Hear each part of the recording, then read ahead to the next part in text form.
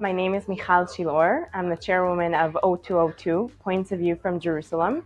What we do is we bring the different points of view of East Jerusalem, West Jerusalem, and ultra Orthodox Jerusalem to each other and really create a new type of journalism in the world that brings together all the different voices that we hear on social media in the different sectors of Jerusalem.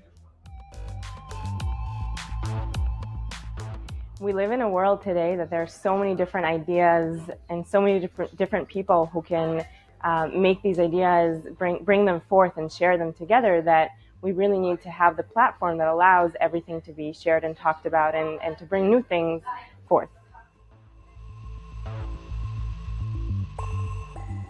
I'll be speaking in the innovation panel, which is uh, to talk about really the differences that we can make anybody, not just professional journalists in the world through social media and how we can bring forth more ideas and really make a new type of world for journalism and for and for information sharing and for understanding and, and meeting each other.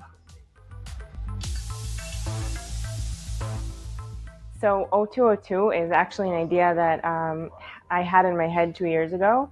And I think what I want to share with everyone now is um, that we can make small ideas become really big. And uh, it started with six or seven people who just wanted to translate news from East Jerusalem. And today we're an official organization. We've got 30 people on staff. Um, it's really a huge thing. It's making changes in, in the city. So make your dreams happen.